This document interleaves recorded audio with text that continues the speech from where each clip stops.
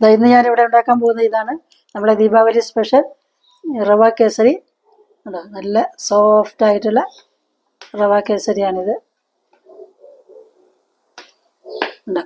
ഇത് ഇതുണ്ടാക്കിയിരിക്കുന്നത് ബീട്രൂട്ട് അല്ല ക്യാരറ്റ് ജ്യൂസ് വെച്ചാണ്.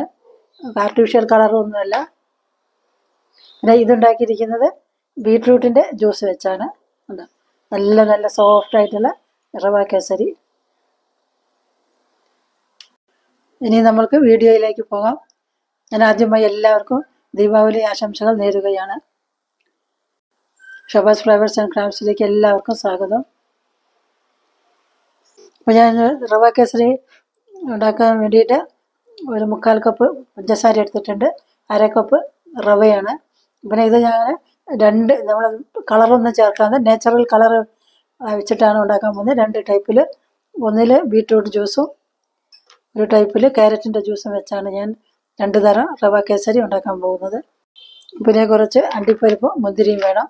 പിന്നെ നെയ്യ് എല്ലാം ഏ- എല്ലാം നമുക്ക് പാചകം ചെയ്യുമ്പോൾ ചേർക്കാം. അപ്പോൾ ഇനി നമുക്ക് ഈ ബീട്രൂട്ട് ബീട്രൂട്ട് ഫുള്ള് വേണ്ട ഒരു പകുതി മതി. ഇതിന്റെ ജ്യൂസും പിന്നെ ഈ ക്യാരറ്റിന്റെ ജ്യൂസും എടുത്ത് വേറെ വേറെ വെക്കണം. എന്നാൽ നമ്മളിവിടെ സ്റ്റവ് കത്തിച്ചു. നമുക്കൊരു പാത്രം വയ്ക്കാം നമുക്ക് റവ കേസരി ഉണ്ടാക്കാൻ തുടങ്ങാം. നമ്മുടെ പാത്രം ഇവിടെ ചൂടായിട്ടുണ്ട്. ഇതിലേക്ക് നമുക്ക് ഒരു സ്പൂൺ നെയ്യ് ഒഴിച്ചു കൊടുക്കുക ഞാൻ ഇതിനു മുമ്പ് അപ്ലോഡ് ചെയ്ത എന്റെ വീഡിയോസ് കണ്ട് ഈ സപ്പോർട്ട് തരുന്ന എല്ലാവരുടെയും നന്ദി പറയുകയാണ്. ഭാവിയിലും ഇതേപോലെ സപ്പോർട്ട് ഉണ്ടായിരിക്കണം. ഇതിലേക്ക് നമ്മൾക്ക് എടുത്ത് വെച്ചിരിക്കുന്ന അണ്ടിപ്പരിപ്പ് മുന്തിരി ചേർത്ത് കൊടുക്കുക ഒരു ടിപ്സ് പറഞ്ഞുതരാം. ഈ അണ്ടിപ്പരിപ്പ് മുന്തിരി ഒന്ന് നനച്ചു കഴിഞ്ഞാൽ നമ്മൾക്ക് ഒരേ മാതിരി മുന്തിരിയും അണ്ടിപ്പരിപ്പ് ഒരേ മാതിരി നമ്മൾക്ക് മൂത്ത് കിട്ടും.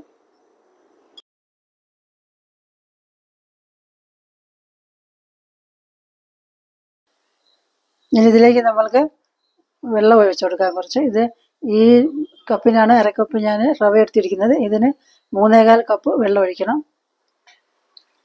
ഏത് പാ ഗ്ലാസ്സോ ബൗളോ എന്തെടുത്താൽ ആ പാത്രത്തിന് മൂന്നേകാൽ ഗ്ലാസ് വെള്ളം ഒഴിക്കണം.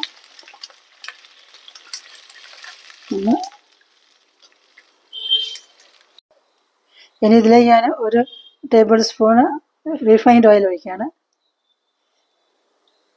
പിന്നെ ഒരു ടേബിൾ സ്പൂൺ നെയ്യ് ഇതിലേക്ക് ഒഴിക്കുകയാണ് ഒരു കാൽ സ്പൂണ് ഏലക്കപ്പൊടിയാണ്. ഇനി ഇതെല്ലാം കൂടെ നല്ലവണ്ണം ഇളക്കി യോജിപ്പിക്കാം. ഇനി നമുക്ക് എടുത്തു വെച്ചിരിക്കുന്ന റവ ഇതിലേക്ക് ചേർക്കാം. റവ മുൻപൊന്ന് വറുത്ത് വെച്ചതാണ്. അത്രയും മതി. വേണമെങ്കിൽ പിന്നെ വറക്കാത്ത റവ ആണെങ്കിൽ ഒന്ന് വറക്കാം. ഞാൻ വറുത്ത് വെച്ചത് കൊണ്ട് ഇപ്പോൾ വറക്കുന്നില്ല. ഞാൻ ഇതിന് അരക്കപ്പ് ഇത് അരക്കപ്പാണിത്. ഇതിനൊരു കപ്പാണ് ഞാൻ റവ എടുത്തിരിക്കുന്നത്. അതിന് മൂന്നേകാൽ കപ്പ് വെള്ളം ഒഴിച്ചു. അങ്ങനെ റവ ചേർത്ത് കൊടുക്കാം.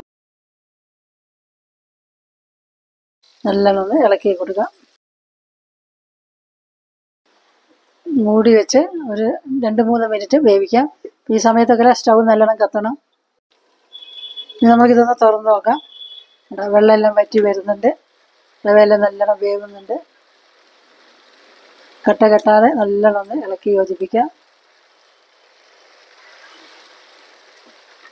എന്റെ ഈ ചാനൽ ആദ്യമായിട്ട് കാണുന്നവരാണെങ്കിൽ സബ്സ്ക്രൈബ് ചെയ്ത് ഒന്ന് സപ്പോർട്ട് ചെയ്യണം.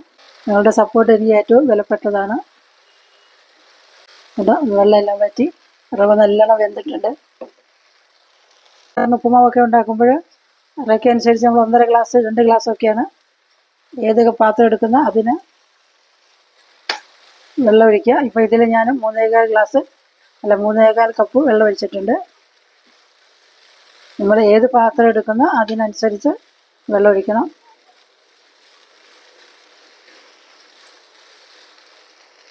ആവശ്യമുള്ള പഞ്ചസാര ചേർത്ത് കൊടുക്കാം ഞാനൊരു മുക്ക ഇതൊരു ഒരു കപ്പിന്റെ കപ്പാണ്.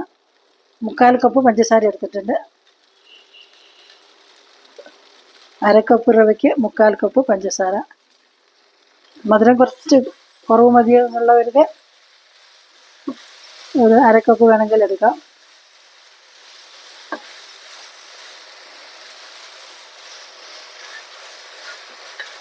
ഇനി നമ്മൾക്ക് സ്റ്റൗ ഒന്ന് താഴ്ത്തി വെക്കണം. ഇതിൽ നമ്മൾ എടുത്തു വെച്ചിരിക്കുന്ന ബീട്രൂട്ടിന്റെ ജ്യൂസ് ചേർക്കാണ്. നമ്മളിതിൽ ആർട്ടിഫിഷ്യൽ കളറുകളൊന്നും ചേർക്കുന്നില്ല. നല്ല ബീട്രൂട്ടിന്റെ ജ്യൂസാണ്.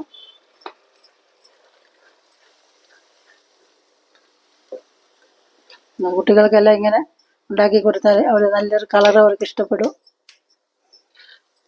നെയ്യ് എടുക്കാതെ ഇങ്ങനെ ഇളക്കിക്കൊണ്ടിരിക്കണം. കട്ട കെട്ടാൻ പാടില്ല. അതിന് നമ്മൾക്ക് ഇതിലേക്ക് ഒരു സ്പൂൺ നെയ്യ് കൂടെ ഒഴിച്ചു കൊടുക്കാം. അത് കണ്ടില്ലേ? പാത്രത്തിൽ നിന്ന് വിട്ടു വരുന്ന പരുവായിട്ടുണ്ട്. ഇനി കുറച്ച് കൂടെ ആവണം. ഇതിലേക്ക് നമുക്ക് നമ്മൾ വറുത്ത് വെച്ചിരിക്കുന്ന അണ്ടിപ്പരിപ്പും മുന്തിരിയും കൂടെ ചേർത്ത് കൊടുക്കാം. നല്ലോണം ഇളക്കി കൊടുക്കാം. നല്ലോണം ഇങ്ങനെ പാത്രത്തിലൊന്നും ഒട്ടാതെ വന്നിട്ടുണ്ട്.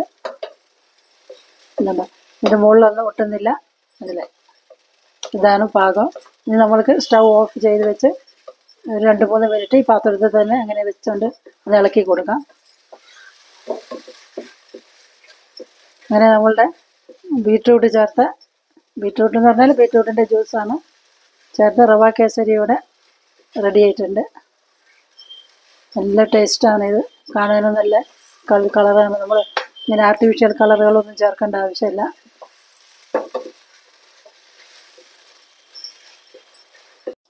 അവസാനമായിട്ട് നമ്മൾക്ക് ഇതിലേക്ക് ഒരു സ്പൂൺ നെയ്യ് കൂടെ ചേർക്കണം.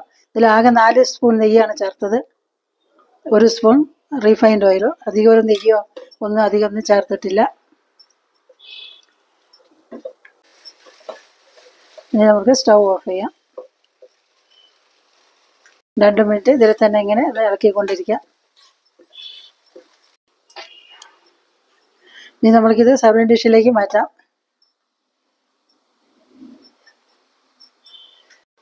അടിപൊളി റവ കേസരി ഇവിടെ റെഡി ആയിട്ടുണ്ട്.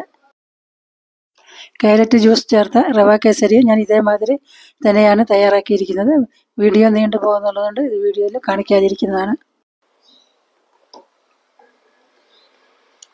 നമ്മൾ റവ കേസരി ഇവിടെ റെഡി ആയിട്ടുണ്ട്. ഇതാ നമ്മൾ ക്യാരറ്റ് ജ്യൂസ് വെച്ചുണ്ടാക്കിയ ഇതേപോലെ ഇതേ പ്രൊസീജിയറിൽ തന്നെ ഉണ്ടാക്കിയ കേസരിയാണിത്. ക്യാരറ്റ് റവ കേസരി. ഇത് ബീട്രൂട്ടിന്റെ ജ്യൂസ് വെച്ചുണ്ടാക്കിയത്. ഈ വീഡിയോ എല്ലാവർക്കും ഇഷ്ടപ്പെട്ടെന്ന് കരുതുന്നു. ഇഷ്ടപ്പെട്ടാൽ ലൈക്കും ഷെയറും ചെയ്യണം.